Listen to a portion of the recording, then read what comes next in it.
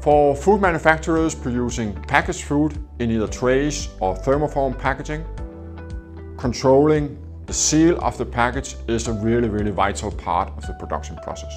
The whole idea about having a sealed product is obviously to keep the modified atmosphere inside the package and to secure no contamination of the organic product throughout the shelf life of the package. Hence, making sure that every single product leaving the factory has been checked and have an intact seal is really, really vital.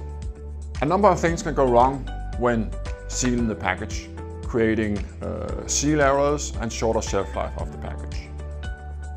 The seal can be contaminated by, by food in the process.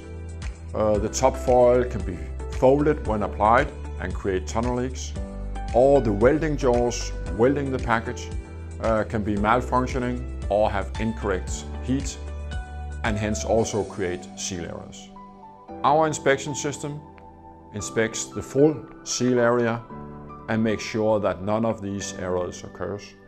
Make sure that no seal errors are leaving the factory.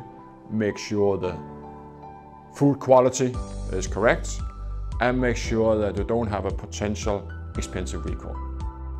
When a package runs through our system, firstly a clear image of the seal is obtained. Then, within just milliseconds, our powerful software and algorithms analyzes the seal area of the package and determines whether there's a contamination of the seal and if there's a contamination, the package will be rejected.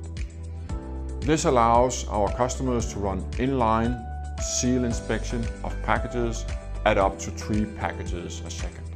The result of this speedy inspection is that our customers can run a real high-speed production while still ensuring that only packages with validated seal reach the supermarket shelves.